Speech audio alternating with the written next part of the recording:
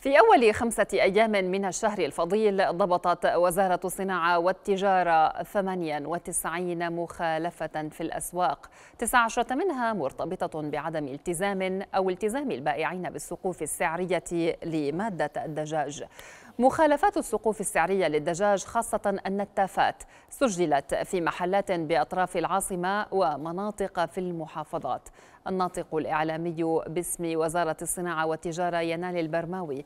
أرجع ذلك إلى عدم التزام مزارع الدجاج بالسقوف المحددة فضلا عن عدم تزويد التاجر بفواتير تحتوي على معلومات عن المورد وعنوانه. وحددت الوزارة الأسبوع الماضي سعر كيلو الدجاج الحي للنتافات باب المزرعة بدينار وخمسة وأربعين قرشا وللمستهلك بدينار وخمسة وستين قرشا. فيما حددت سعر الدجاج الطازج للمستهلك بدينارين للكيلو.